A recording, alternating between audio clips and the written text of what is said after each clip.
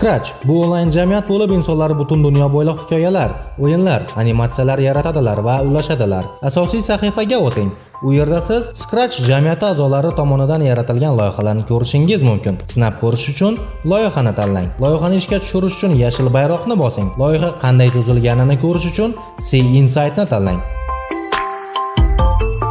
Million loyihalarni ko'rmoqchi bo'lsangiz, Explore sahifasidan foydalaning.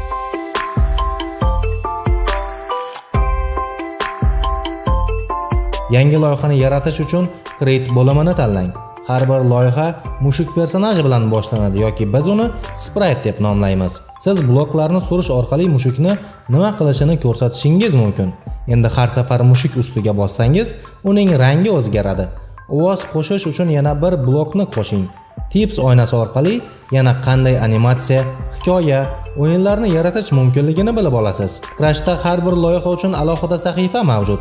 Siz o'z loyihangiz nomini, yo'riqnoma shaklini o'zgartirishingiz va loyihangizni boshqalar bilan ulashishingiz mumkin. Sizga yoqqan loyihalarga like bosishingiz va uni favorite tanlanganlar orasida saqlab qo'yishingiz mumkin. Loyiha remixini qila olasiz. Remix qilish uchun C Project Page bo'limini tanlang.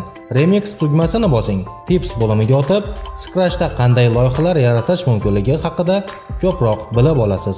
My Stuff mening fayllarim bo'limidan o'zingiz yaratgan barcha loyihalarni ko'rishingiz mumkin va siz o'z profilingizga o'tib, boshqa Scratchchilarning sizning loyihangizga qanday munosabat bildirganlarini ko'rishingiz mumkin.